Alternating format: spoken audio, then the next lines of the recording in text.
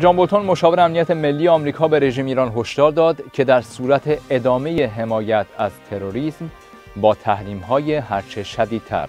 روبرو خواهد شد. Even stronger sanctions coming back uh, in November. Uh, we think we've disrupted their uh, efforts to impose their will in countries around the region. Uh, we think these new sanctions جان بولتون گفت تحریم های اعمال شده علیه رژیم ایران بر عملکرد بی ثبات کننده این رژیم در منطقه تاثیر گذاشته است.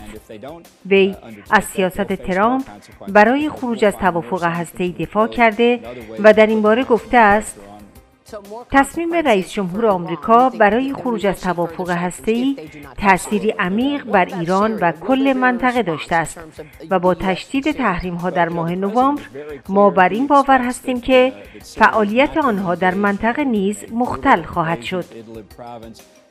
جان بولتون درباره اثرگذاری تحریم ها بر رژیم ایران گفت این همان چیزی است که ما دنبال می کردیم ما بران هستیم تا رژیم ایران را وادار به تغییر بنیادین رفتار خود بکنیم.